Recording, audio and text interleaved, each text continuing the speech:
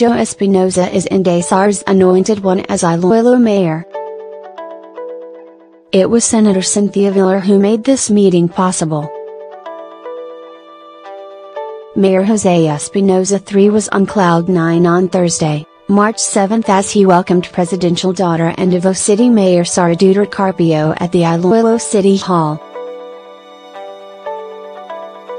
After some talks, Duterte went to endorse Espinosa as her bet as Iloilo City Mayor. She proudly held up the Politico's hand and even did the one-hand gesture which Espinosa had been using for his campaign.